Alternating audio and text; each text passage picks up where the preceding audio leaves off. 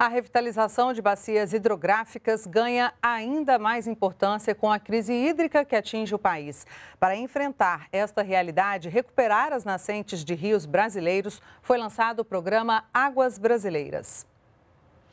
Foram escolhidos 26 projetos de revitalização de rios, com a meta de reduzir, controlar e compensar os impactos ambientais em cerca de 300 municípios do país.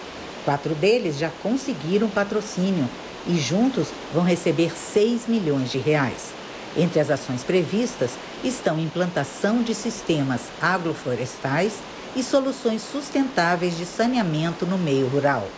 A Associação de Moradores de Brejo de Brasília, na Bahia, comemora a chegada de recursos para a revitalização de nascentes do Velho Chico. O principal é, fator desse projeto é o aumento da lâmina d'água e o aumento da cobertura vegetal dos mananciais do São Francisco. A ajuda virá de uma empresa de energia. Eu acredito que essa seja um dos melhores caminhos aí para uma economia mais inclusiva, regenerativa e o futuro da retomada econômica brasileira. Para o ministro Rogério Marinho, é mais um passo em direção à sustentabilidade e na busca pela solução hídrica do Brasil um tema prioritário para o país que voltou a sofrer com a falta de chuva.